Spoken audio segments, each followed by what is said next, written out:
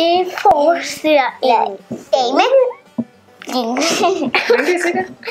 en dame med et hoved kæmpe bryster. Det forestiller sig en klovn. Og det, og det ligner, at hovedet det bærer på en kylling. Og orange hår. Ja, det har en. En brandmænd. Kan se et tyndt hoved, der er langt. Og bryster. Store bryster.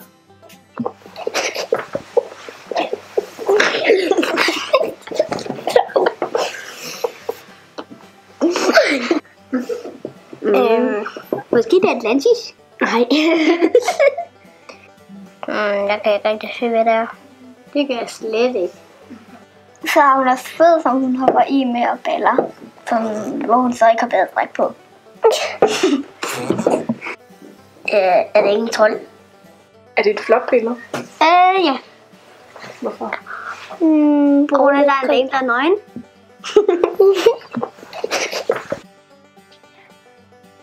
Og det der er en gorilla.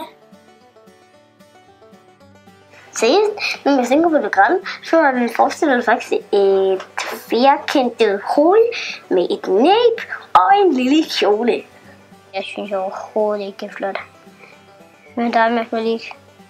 Overhovedet ikke. det synes jeg i hvert fald heller ikke.